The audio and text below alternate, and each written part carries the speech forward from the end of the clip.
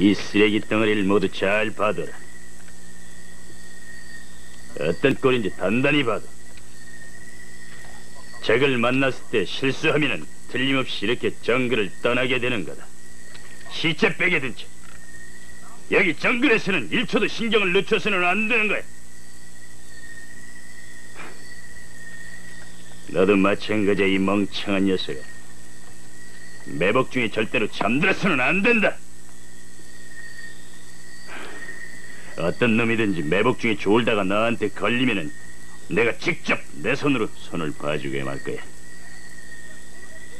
거짓말이 아니야.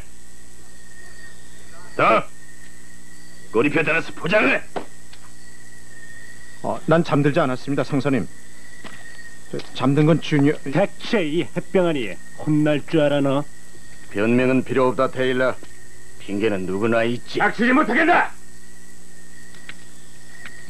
우린 여기 부상자가 두 명이나 있다.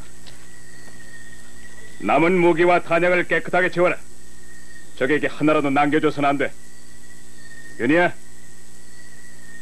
더니, 가드너를 운반해라.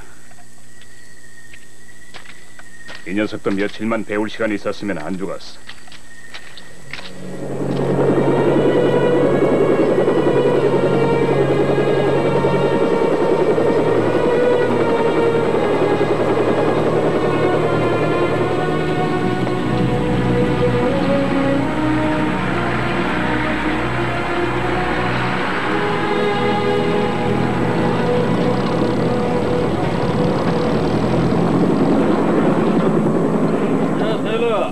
거기서 뭐라고 있냐?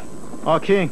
가벼운 일만 하래요. 사흘 동안은요. 설마? 아, 정말이에요? 아, 하여튼 본부에 와 있게 돼서 다행이다. 그건 뭐죠, 맥주예요? 아, 장가영 보호품 창고에서 슬쩍 했어. 어차피 우리 것을 슬쩍 한 건데 뭐. 야 테일러. 야 벌써 돌아온 거냐? 아, 네, 그런 것 같아요.